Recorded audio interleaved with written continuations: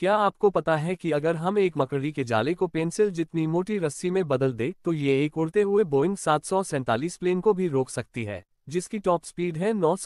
kilometre पर घंटा